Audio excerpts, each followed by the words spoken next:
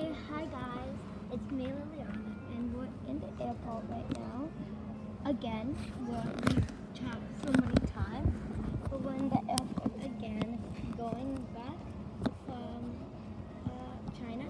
And um, I went on tour this week, but I couldn't video any of that because I'm just like. But when we get back, I got tons of souvenirs to show you.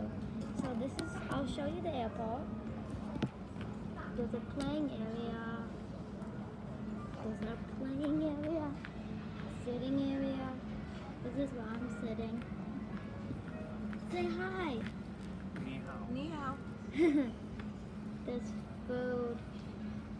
And then there's other stuff. It's a small airport. Yeah, it's a small airport.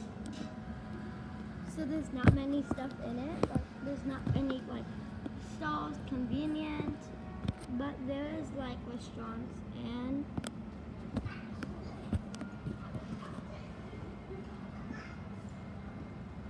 a Christmas decorations.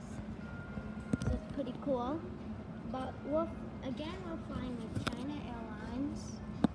We're flying with China Airlines again, so I'll take a video when we're on the